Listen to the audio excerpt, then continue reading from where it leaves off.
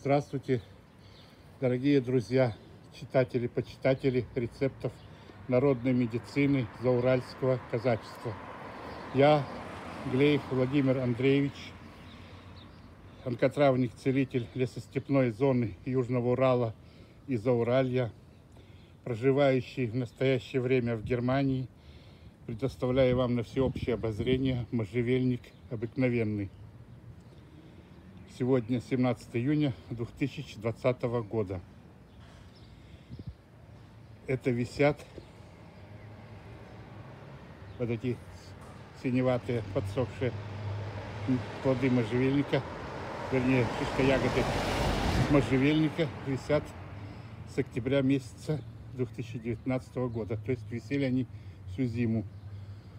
А вот эти зеленые молодые, молодые этой весны 2020 года плоды, вот зеленые, видите, которые также будут темно-фиолетовыми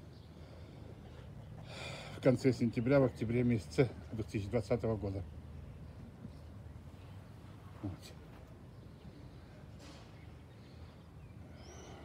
Как отличить можжевельник обыкновенный от ядовитого можжевельника казацкого? У можжевельника обыкновенные листочки заостренные. Хоть и мягкие, но немножко колючие. У можжевельника казацкого листья округленные. Веточки не такие длинные и округленные листья. Но чаще всего применяют в народной медицине шишка ягоды можжевельника обыкновенного, которые нужно собирать в конце сентября, в октябре месяце в Германии, а в России в конце сентября. Смотрите, какой большой куст.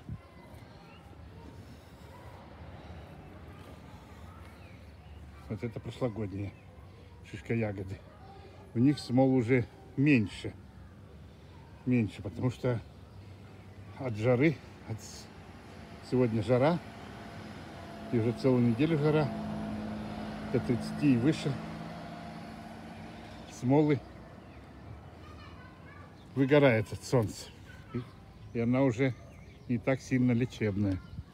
Но я заготовил для русскоязычного населения Германии две больших, два больших толщевых пакета. Вот. Они сбора октябрь 2019 года, но они хорошо, правильно выпущенные и, как говорится, не потеряли ни запаха, очень приятный запах, вот, эфиромасличный, и смолы не потеряли. Поэтому я заказчикам по Германии всем буду высылать свое лекарственное сырье можжевельника обыкновенного, которое хранится у меня дома в тени, хорошо и правильно высушенное. Вот. Сейчас я сбор не буду производить, потому что здесь образуются молодые побеги, вот, вернее, молодые побеги и зеленые плоды, в которых еще мало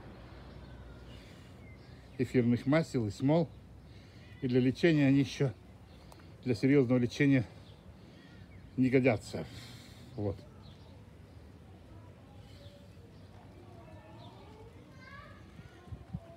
Отдельно я приготовлю вам видео с рецептами лечения от различных тяжелых и неизлечимых онкологических заболеваний и других тяжелых и неизлечимых заболеваний костно-мышечных тканей, кожных тканей, легочных заболеваний, печеночных, почечных, сердечно-сосудистых и других, и многих, многих других заболеваний.